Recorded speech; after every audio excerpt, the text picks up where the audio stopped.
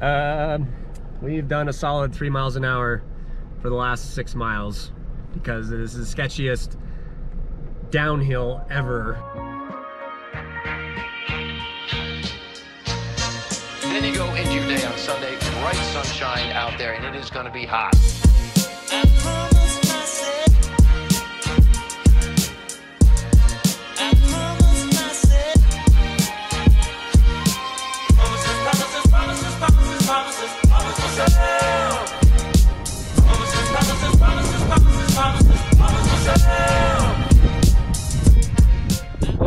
Going on, everybody? It's probably a little windy. it's really windy today. It's just been howling all day. Um, so I'm gonna hide behind the campers so there's less winds. Uh, we are on another adventure with the Yota, and our trajectory, probably can't see it because of the GoPro, is that mountain up there. And why that mountain is part of our adventure or our, our goal is because it is the highest road, I believe, in North America. It's the highest point you can drive up to. It's 14,300 feet, something like that. And we're gonna take my beloved 100 horse, if that, camper and see if we can make it all the way up to 14,000 feet. This is gonna be interesting because it's a very narrow road and either you go up or you don't. So I'm putting a lot of faith in this guy to get us up there. It's a Toyota, so of course it is, but it also weighs a ton and we're dealing with very, very high altitude. Well, hi.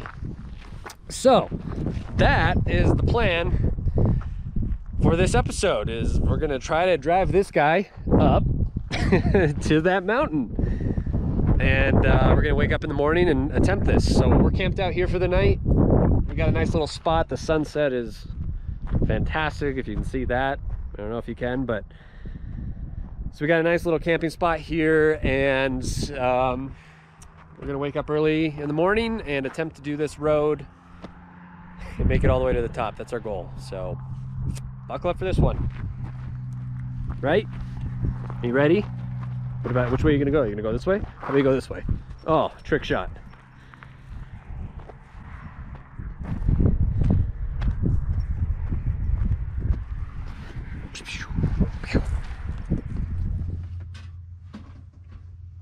Are making there? Calzone. Ooh, It's almost ready. Getting a little crispy. crispy.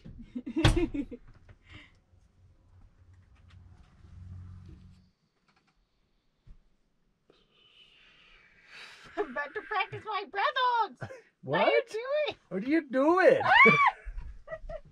doing? uh, yeah, so I'm in here. Um, long story short, we have no furnace. And I have no idea why. The fan is not kicking on. And I've gone through everything to figure out why it's not kicking on. And I believe the motor is seized up. There's a lot of resistance in the motor if I reach all the way back.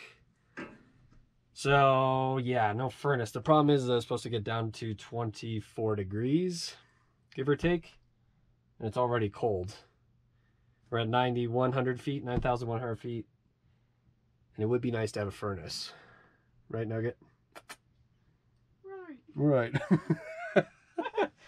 but apparently we're not, because I've tried. I've gone through all the electrical and uh, you know thermostat is working I'm getting voltage there but no no furnace so somebody's already prepared to have lots of blankets Um, Blanket for you. hibernating. yeah because i think it's gonna get it's gonna get cold tonight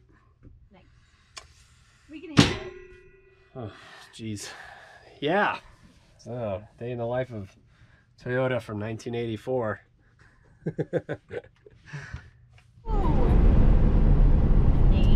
stevie All right. Well, we are on our way to our next destination. We froze our butts off last night because my furnace died, or I shouldn't say died, it's just not working. I think the motor is seized up on the blower. So it got down to 19 degrees. Thank God we had enough blankets, but even then it still, it got cold. This one especially. Her little Jew butt was like, "Ah, I'm a popsicle. I wasn't built for this. And now we are going to attempt to drive the Yota up to 14,000 feet. This is either, this is either gonna work or it's not. And It'll be a good story either way. the biggest uh, point I'm trying to figure out is if I have to do a U-turn. It's it's like a two-lane road to get to the top of this mountain. I I gotta figure that one out. I don't know if it, it it'll have enough power. It might. It might not. I always just gotta think worst case scenario, but we're gonna find out. So Sorry. what, what was that? Anal tango.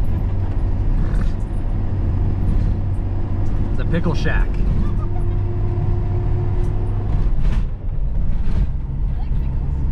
Pikes Peak Highway. Are we going to the top of Pikes Peak? Yeah. Woo! The North Pole! We're Santa, we're coming! Wow. All right, 100 horsepower. Let's see if we get up here.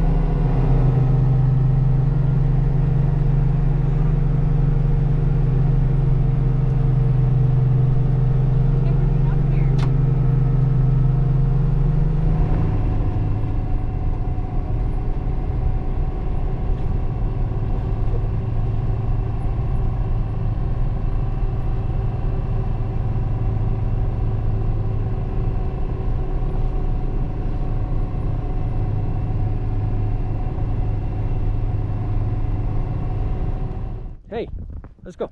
Come on. Hi. Ah. Oh, it just nose plowed right in. Hi. hey, come here. Where are you going?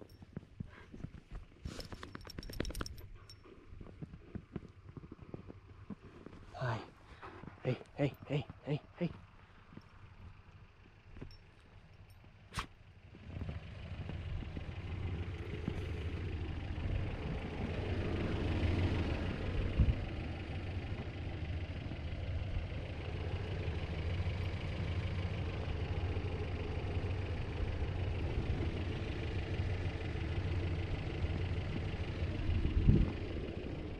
You doing?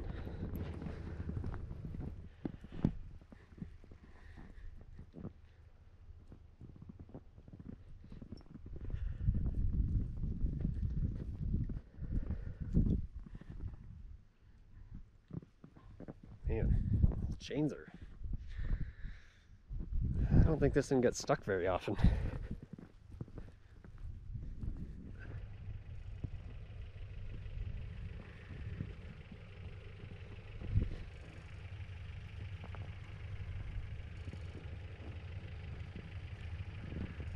What's going on, everybody?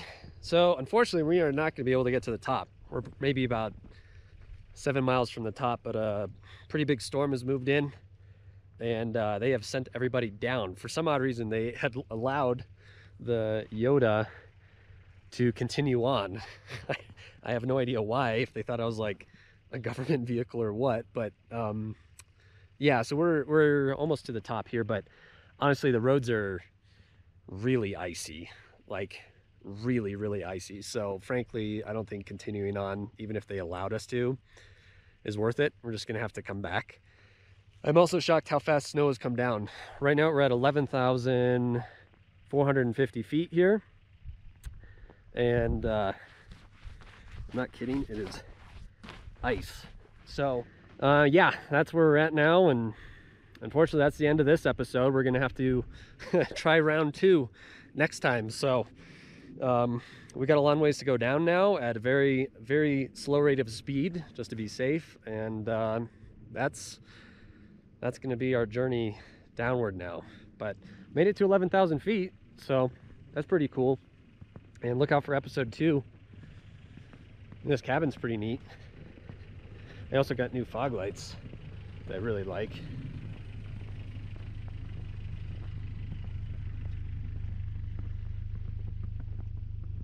We are the only people here. I know that.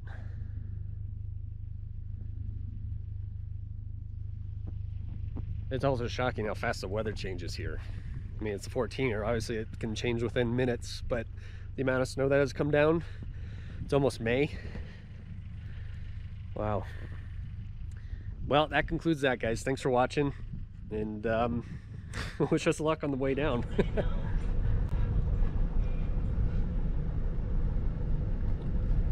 well, this is the longest drive of our lives. I'm doing three miles an hour going downhill because the black ice is so bad underneath the snow that at one point